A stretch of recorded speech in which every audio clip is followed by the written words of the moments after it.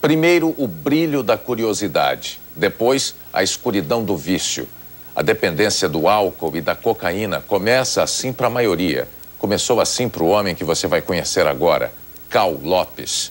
Durante 20 anos, ele foi dominado pelas drogas, mas decidiu que ia se curar. E conseguiu. A primeira droga que eu usei foi a maconha. Isso eu passei usando maconha até os 15 anos de idade. E aos 15 eu conheci drogas bem mais pesadas. Né? Conheci cocaína, conheci LSD. Aos 22 anos eu bebi um litro de whisky por dia. Eu não dormia em cama, eu dormia no chão. O empresário Carl Lopes era analista de sistemas. Fazia programas de computador para a França, até que a dependência de álcool e da cocaína destruiu a carreira dele.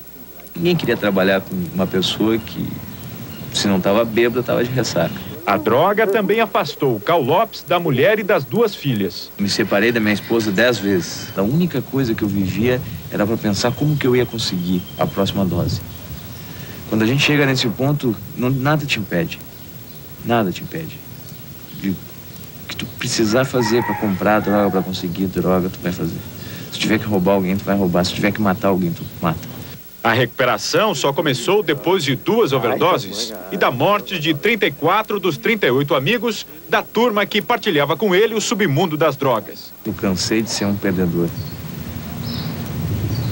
E eu resolvi que eu ia, talvez não ser um vencedor, mas pelo menos ser uma pessoa, me transformar numa pessoa.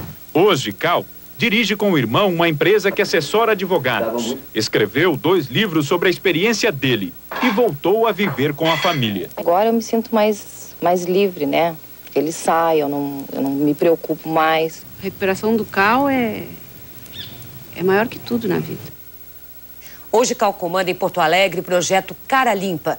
Vai às escolas, dá palestras, ajuda a prevenir o vício e também a se livrar dele. Cal acredita que conversar, falar sobre as drogas é a maneira mais eficaz de se manter longe delas. Nós convidamos jovens de todas as classes sociais de Porto Alegre para fazer perguntas a Cal, tirar dúvidas, aprender a dizer não às drogas. Que leva os jovens cada vez mais a procurar usar desse tipo das drogas, né? Primeiro, com certeza, é a falta de informação. Né? A curiosidade é uma decorrente dessa falta de informação.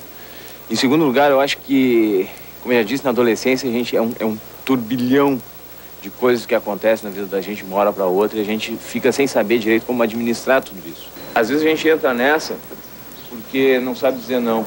Até que ponto a família atrapalha quando recrimina alguém que usa drogas, trata como um problema, o filho problema? É preciso as famílias terem em mente isso. É preciso dar amor, é preciso mostrar que os melhores é, os melhores amigos estão dentro de casa, numa hora dessa.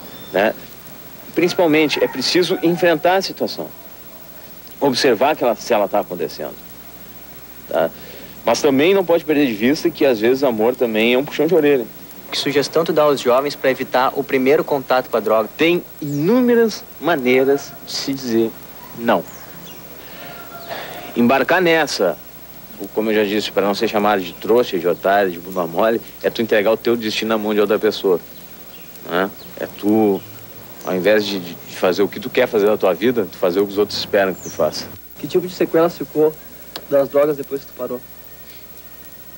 Fora a falta de cabelo, né? e a barriga grande. Uh, eu tive um problema de memória muito sério logo depois disso. Se eu te enxergar daqui a dois dias, eu não vou saber quem tu é. Qual o tratamento adequado para jovens drogados? Cada tipo é, de dependente, cada é, tipo de droga e, e a maneira como ela evoluiu, tudo isso vai influir na escolha do melhor tratamento. Por isso que é importante sempre se procurar uma orientação técnica, né? De um psicólogo, um psiquiatra, né? um médico. Eu gostaria de saber o que, que te levou a um dia procurar ajuda e parar com as drogas. Eu acho que foi a proximidade da morte, sabe? Quando tu... Eu tive duas overdoses, eu tive... Eu tive a ponto de morrer várias vezes em acidente de carro, tudo, e os riscos que a gente corre, né? Tiro, tomei tiro uma vez. E com a vergonha enorme que eu sentia por usar droga, eu acho que foi aí que eu, que eu resolvi que eu ia mudar minha vida. Como é que você- os pais podem prevenir os filhos em casa? Tem que se informar bastante. Tem que saber que tem que conversar em casa.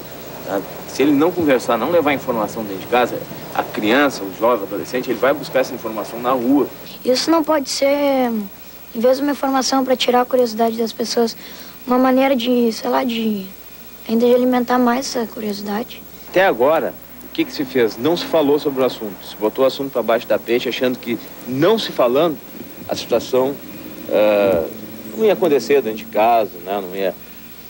Os resultados disso tu vê no dia a dia da tua escola, né, entre os teus amigos, né?